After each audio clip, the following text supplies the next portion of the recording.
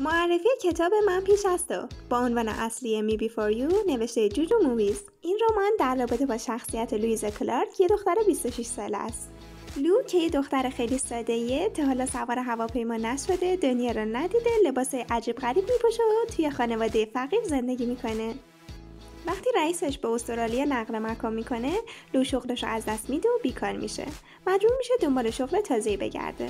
بعد یه سری اتفاقات به عنوان پرستار ویل استخدام میشه. ویل ترینل پسری از طبقه بالای جامعه که دو سال پیش طی یک سانحه تصادف دست و پاش کامل فلج میشه. ویل قبل از تصادف یه پسر ورزشکار ماجراجو اهل سفر عاشق بود. وظیفه اصلی لو در مقابل ویل اینه که نذاره بیش از حد افسرده بشه اما نمی‌دونه که چطوری باید این کار انجام بده. بهتون پیشنهاد می‌کنم این رمان جذاب رو بخونین و شاهد اتفاقای جالبش باشین.